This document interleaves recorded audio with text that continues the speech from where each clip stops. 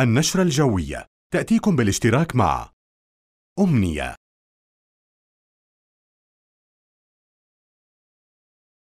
المناصير للزيوت والمحروقات.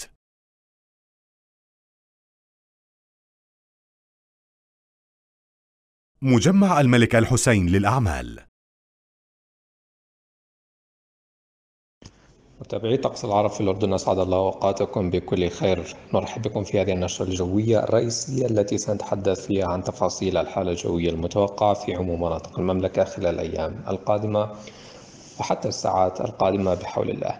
في هذه النشرة سنركز حول الارتفاع على درجات الحرارة المتوقعة خلال خلال منتصف الأسبوع الحالي. المحاور الرئيسية التي ستحدث في هذه النشرة هي الطقس الصيفي الاعتيادي يوم الاثنين قبل بدء تأثر المملكة بكتلة هوائية حارة وارتفاع الحرارة من جديد اعتبارا من يوم الثلاثاء.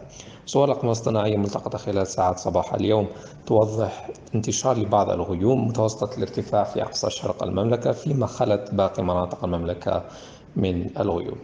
ننتقل الآن لتفاصيل الارتفاع على درجات الحرارة وننتقل وإياكم إلى خرائط توزيع الكتل الهوائية المتوقعة على منطقة بلاد الشام من يوم الأحد وحتى يوم الأربعاء.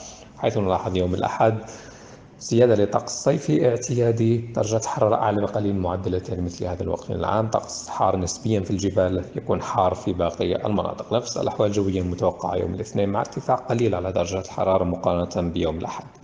لكن اعتبارا من يوم الثلاثاء تندفع نحو المملكة كتلة هوائية حارة ترتفع معها درجات الحرارة.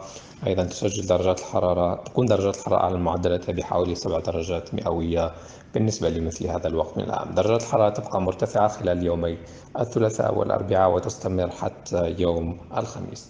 تفاصيل أكثر نستعرضها في هذه الخريطة لتوزيع الأنظمة الجوية المسببة لاندفاع لهذه الكتلة الهوائية الحارة. حيث تشكل منخفض جوي في طبقات الجو المتوسطة والعالية في منطقة وسط البحر الأبيض المتوسط عمل على اندفاع لكتلة هوائية ذات درجة حرارة معتدلة نحو منطقة ليبيا أيضا الأراضي المصرية.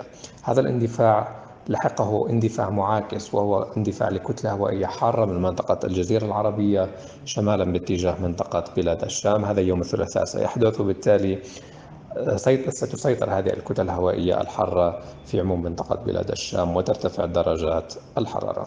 نذهب الآن وإياكم إلى العاصمة عمان والتوقعات الجوية لهذه الليلة حيث يسود طقس صافي مع 21 درجة مئوية.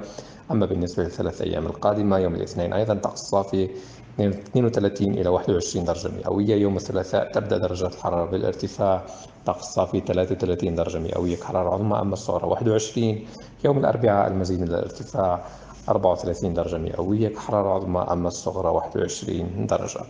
بهذا ننهي نشرتنا إلى اللقاء.